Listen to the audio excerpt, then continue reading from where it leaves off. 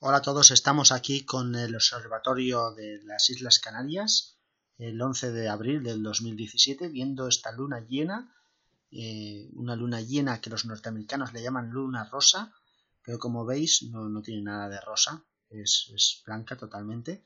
Lo único que los norteamericanos para eh, las lunas llenas le suelen dar nombres diferentes, por ejemplo el 12 de enero hubo luna llena, le llamaron la luna del lobo, el 10 de febrero le llamaron la luna de nieve.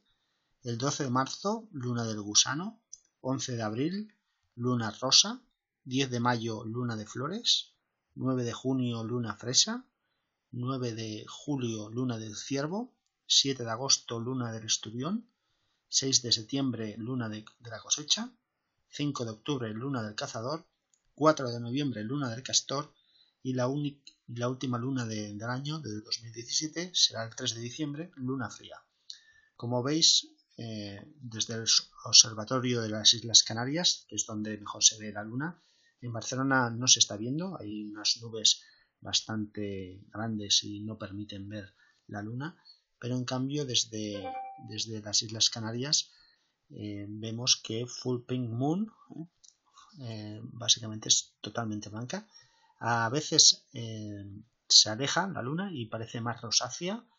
desde tres puntos de vista, de distancias, eh, este observatorio permite eh, analizar la luna y desde, desde este punto de vista se ve totalmente gris, totalmente blanca, pero desde el otro punto de vista que se ve un poco más lejana, a ver si, si dan esa segunda toma, se ve entonces más rosácea, no, no, no quiere decir que se vea rosa rosa, pero sí que se ve rosácea desde, desde una posición más, más lejana. Pero la tercera posición, que es mucho más lejana, se ve blanca, o sea, totalmente blanca, la posición más lejana. La posición intermedia sí que da ese aspecto medio rosa, medio blanco, sí que podríamos llamarla full pink moon. ¿eh?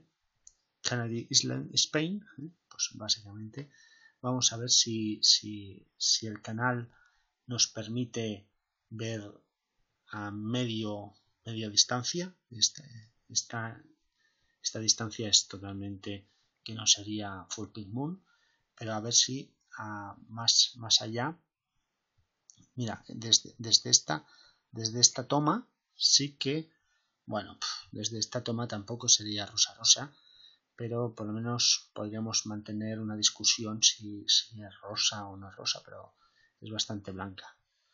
Desde esta posición, a ver si vemos la posición, una posición mucho más, más rosa. Desde, desde esta posición antes que la he visto, seríamos suscribiros al canal, compartir el vídeo y hasta luego.